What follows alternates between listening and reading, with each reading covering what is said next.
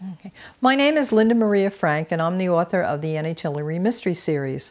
This is a series of mystery books for girls of any age.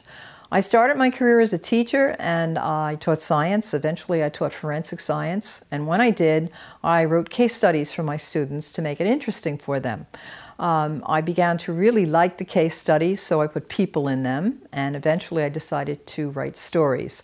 Because I wasn't a professional writer, I took a writing course and in the process produced two books. The first is The Madonna Ghost. The Madonna Ghost takes place on Fire Island, and it is a story um, that includes a romance, it includes a wonderful ghost story. Uh, and when my heroine decides to investigate the ghost with her boyfriend, what happens is they uncover a plot which actually impacts on national security. She has an aunt who's a New York City police detective, and in the process of um, investigating the ghost, the aunt disappears, and they have to solve that as well.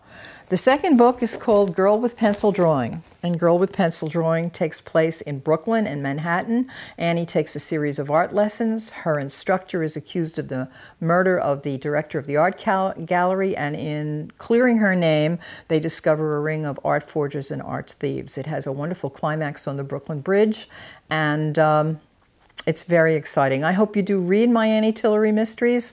Uh, I call them Nancy Drew meets CSI because I loved Nancy Drew when I was a kid. I also am the producer of The Writer's Dream, which is a, a local access TV uh, program which, in which I uh, interview authors, and I also have some friends who do the interviewing, and the authors talk about their books, how they wrote them, how they published them, and the incredible and challenging world of marketing them.